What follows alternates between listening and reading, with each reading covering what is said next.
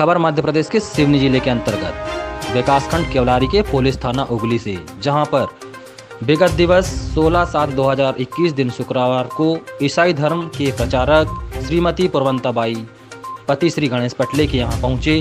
उनकी बीमार बेटी को प्रार्थना कर पूर्ण स्वस्थ करने का आश्वासन दिया।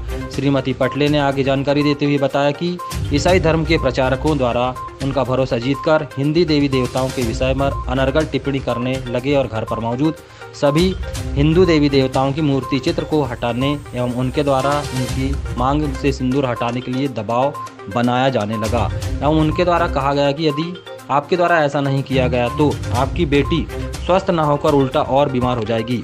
इसके बाद श्रीमती पटले द्वारा इस बात का विरोध किया गया तो उन्हें तरह तरह के प्रलोभन देने की कोशिश की गई। पूरे मामले की जानकारी लगते ही उक्त महिला ने इनका विरोध करते हुए अपने पड़ोसियों को आवाज़ देकर बुलाया। तभी मौके पर धर्म रक्षा सेना समिति समिति के कुछ कार्यकर्ता, बजरंग दल के कार्यकर्ता इकट्ठे हो गए और पुलिस थाना उगली को सूचना दिया गया। थाना प्रभारी श्याम सुंदर भारद्वाज अपने दल बल के साथ घटना स्थल पर पहुँच गए। वहाँ पर सारे मामले को देख चार प्रार्थियों को पकड़कर मामला पंजीबद्ध करते हुए जेल भेजा गया।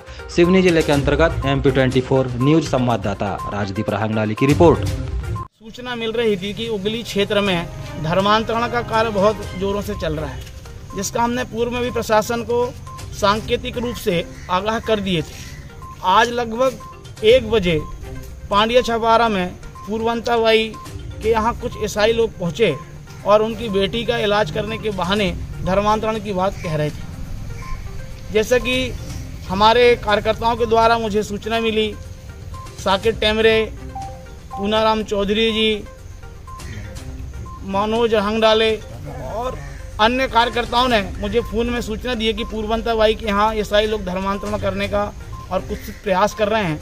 तब हम तत्काल वहाँ पहुँचे और थाना प्रभारी को इसकी सूचना दी और लिखित आवेदन दे के हमने कार्रवाई की मांग की है।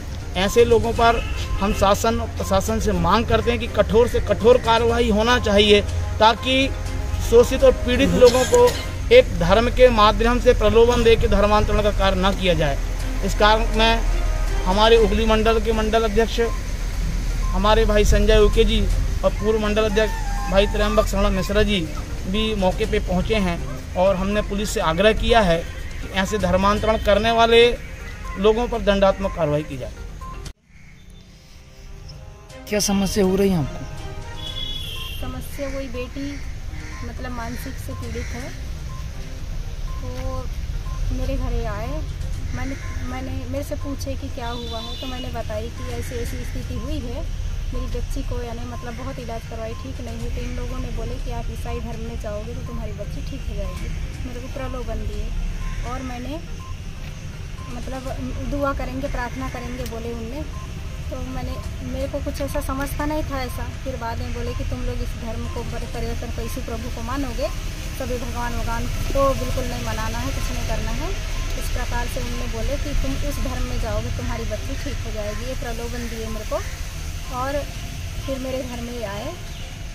और मेरे को धर्म परिवर्तन कर, करने के लिए बोले। तो मुझे आपत्ति थी अपने धर्म को मैं मतलब वो नहीं करना चाहती थी। इसलिए मैंने अपने प्रभारी थाना प्रभारी में आकर के रिपोर्ट की पांडिया छपारे की महिला प्रार्थिया द्वारा धर्मांतरण के विरोध में एक शिकायत की गई है, जिसकी जाँच की जा रही है। जाँच उपरांत आपको अग्रिम कार्रवाई के संबंध में बताया जाएगा।